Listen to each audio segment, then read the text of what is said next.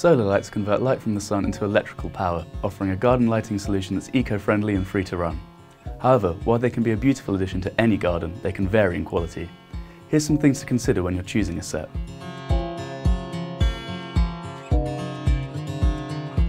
Firstly, consider which type of lights would work best for your space and the lighting effect you're trying to achieve.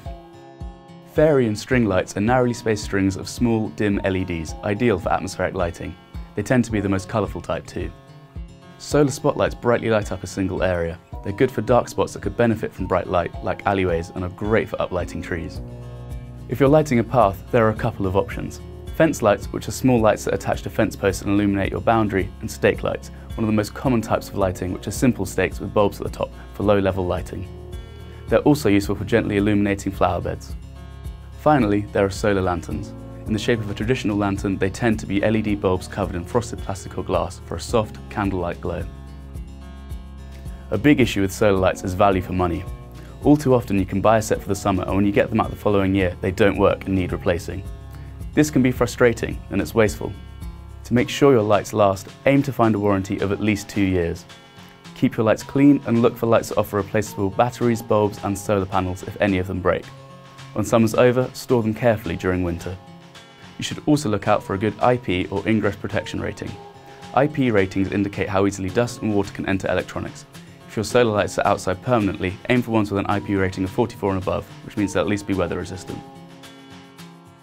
Light patterns that twinkle or glow can extend the life of the battery and keep your lights on for longer at night. A motion sensor can also extend your light's lifetime by only switching them on when there's activity nearby, which is particularly useful for solar spotlights and means you won't have constant brightness. It's also better for your neighbours and wildlife, as it means they won't be disturbed by the lights in your garden. Once you've decided what type of light you would like, make sure you're opting for the right size and brightness for your space. A small trellis is unlikely to need a long string of 100 lights or a brightness that's more than a few lumens, which is the light output of solar lights. 50 lumens is plenty for ambient background lighting, and 100 to 200 lumens is all you need to light up a path.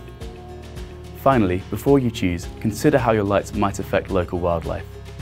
Bright lights can be harmful to nocturnal creatures like bats as it disrupts their sleep and mating cycles and makes them visible to their prey. To ensure lighting doesn't disturb wildlife, keep some of your garden dark. Angle your lights so they're facing towards the ground and pick lights with as few lumens as possible. Make sure you're only lighting up the garden when you need to by choosing lights with motion sensors or by turning off your lights before you go to bed.